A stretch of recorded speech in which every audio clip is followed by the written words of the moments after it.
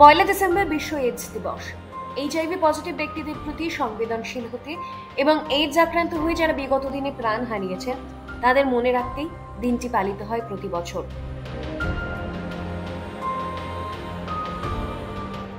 দু হাজার তেইশের বিশ্ব এইডস দিবসের থিম লেট কমিউনিটিজ লিড উনিশশো সাতাশি সালে প্রথম দিনটি পালন করা হয়েছিল। সারা পৃথিবী জুড়ে জনস্বাস্থ্যের ক্ষেত্রে এইডস একটি বিশাল সংকট।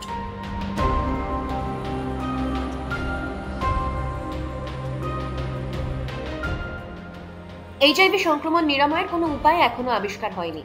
তবে সঠিক সময়ে রোগ নির্ণয়, সতর্কতামূলক ব্যবস্থা, চিকিৎসা এইচআইভি আক্রান্তদের স্বাভাবিক সুস্থ জীবনযাপন সম্ভব।